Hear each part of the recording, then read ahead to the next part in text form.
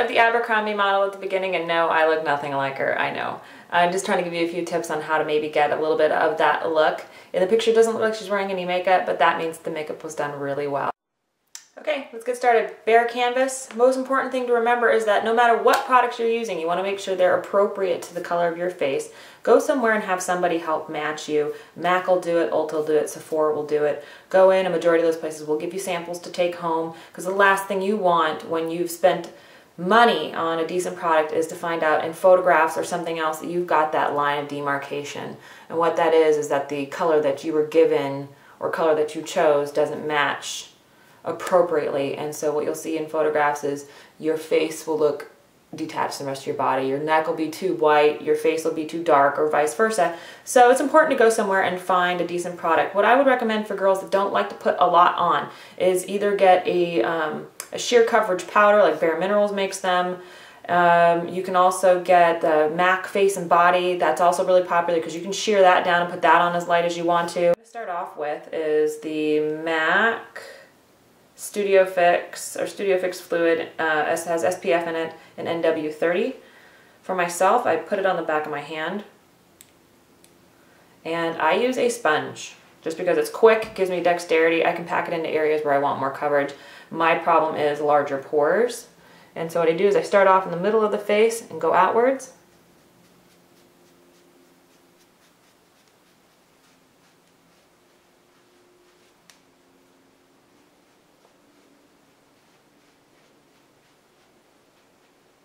Um, mine is a loose mineral powder by MAC in, um, what color is this? Oh, medium plus. Kind of looks like this.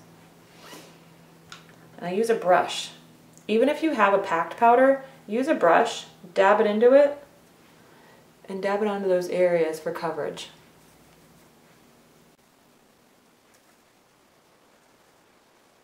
Okay, what's really important about the um, real natural look is that you still want to look like the sun has hit your face, like you've been outdoors. So what I'm going to use is the Mineralized Skin Finish in a medium deep.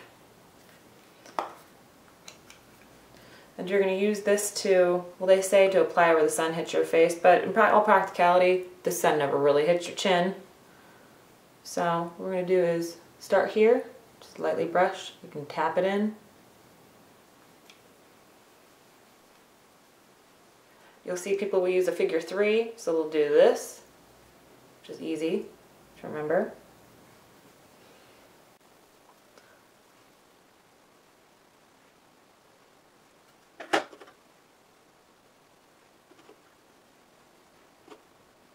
Take Cubic by MAC. It's a real light, um, almost like a, a mauve kind of color, like a dusty rose is what I would describe it as. I'm just going to take a little bit, put it on, take a fluffy brush, apply it to the, uh, the apples of the cheeks.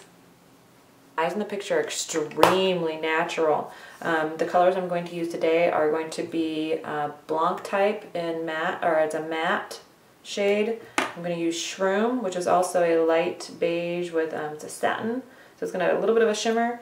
I am going to use um, Omega, which is another matte light. So these are all super light shades. And I'm also going to use Espresso, which is another matte. Okay, so you can see I have one eye done right now, so you can see what we're going to um, shoot for here.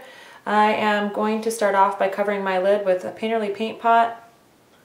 Um, this is just to um, give your shadows something to adhere to and make the color a little more true because um, your eyes can notoriously have um, veins or discoloration and what's nice is that the uh, paint pot or any sort of base is going to create um, more of a uh, an even canvas for the rest of your colors and your colors are going to go on a little more true. We're going to start off with on the lid is the color Shroom. It's a satin color. I'm going in with a 239 brush. This one is Sigma's. And I'm going to dab the entire lid. Okay, with that done, I'm going in with a number 10, the 10 Smashbox, and I'm going to use the color Omega. It is a matte taupe kind of color. And I'm just going to brush that into the crease. Windshield wiper swirlies, that's really a term.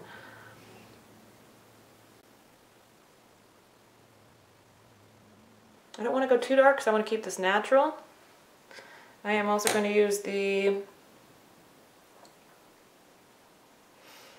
uh, I'm going to use Blanc type. It's a matte, light skin colored, like a off-white. Tap it underneath the brow, create a highlight. Espresso is a matte brown. I'm going to take the 239 the other side, dip one side of it in, line your brush up like this, and sweep inwards.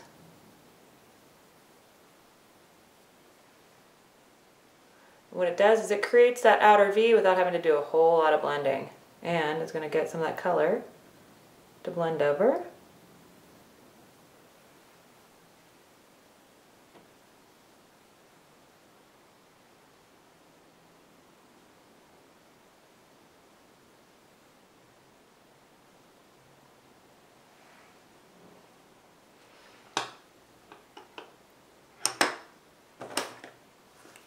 Ten.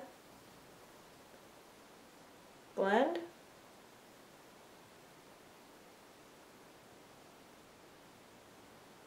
There you go. Real simple, simple neutral, um, more natural color. The only shimmer you have is on the lid with Shroom. And I am going to use the color Spiked on my brows. I'm also going to use that color Espresso on my brows with an angled brush. And I'm also going to use the angled brush on the lash line. I'm not going to use a gel liner because I want to keep this, this look extremely natural with really soft lines, soft colors, uh, soft techniques, and I am going to just darken this a little bit more. You get the idea. I am probably going to sweep a little bit of the shroom underneath the lash line. I'm going to finish the brows. I am going to crimp or curl the eyelashes and put on some Zoom Fast Black Lash Mascara and I'll be right back. Okay, so there you have it. I've done the eyes. Um, the important thing to remember with this is that we did a lot with just a few products.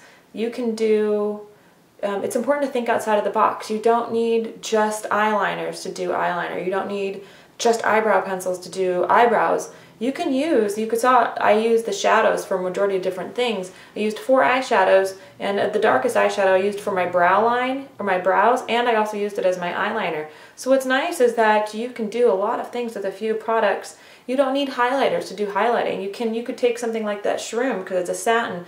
You know, you can use um, use it on a little bit of a brush and you can use it as a highlight on your cheeks. You can also use it as a, um, a quick little highlight for your lips. Um, it's just neat. You're gonna you um, think more artistically. Makeup is all about art and it's all about taking artistic license with it. So um, use your creativity. Try different uh, mixing mediums. Um, have a good time. So just to finish up this look, something that's going to be really natural is I have the lip stain, the um, Manuel Ungaro, Emmanuel Ungaro lip stain. You can also use something like um, the Outlast by CoverGirl. All lip stains all come out because they are, that's exactly what they are. They are a stain. They come out really pink. And so what I like to do is put them on as a base color, really natural base color, and then I use either a chapstick or some sort of lip color over the top of it um, just to bring that pink color down a little bit. So I will use the Emmanuel Ungaro one right now just because it's a little bit um, quicker to apply. The Outlast um, color is a pen, so it takes a little longer to apply. So I'm just going to quickly slap this one on. Just put a real light shade. You can darken this, but it's, it's never going to get to be like a red.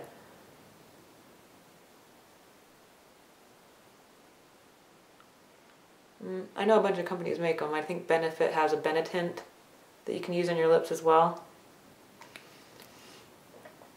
So there's the lip stain. I'm going to let it dry. I am going to use a cream sheen by MAC in the color Sublime or Sublime Shine.